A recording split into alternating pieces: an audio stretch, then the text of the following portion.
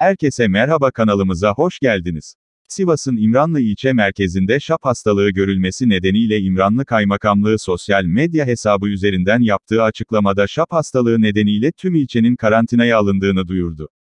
İlçeye giriş çıkışlar yasaklandı. Açıklamada şap hastalığı ile mücadele çerçevesinde ilçenin tüm mahalleleri ve bazı köylerinde hayvan hareketliliğini azaltmak adına büyükbaş ve küçükbaş hayvan alım satımı ve hayvansal ürünlerin giriş ve çıkışları ikinci bir duyuruya kadar yasaklandı.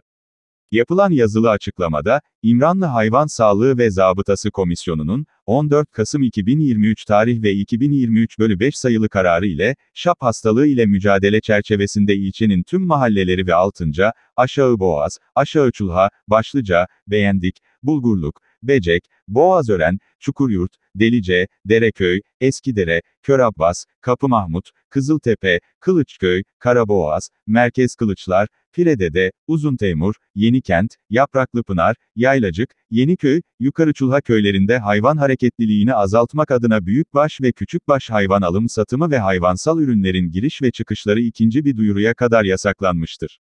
Yasağa uymayanlara dudak uçuklatan ceza. Yasaklara riayet etmeyenler hakkında 5996 sayılı kanunun 36. maddesi uyarınca 46.159 TL idari para cezası uygulanacaktır. Şap hastalığına ilişkin tüm gelişmeler ilk andan itibaren ilçe Tarım ve Orman Müdürlüğümüz tarafından yakından takip edilmekte olup, gerekli tüm önlemler alınmaktadır, ifadelerine yer verildi.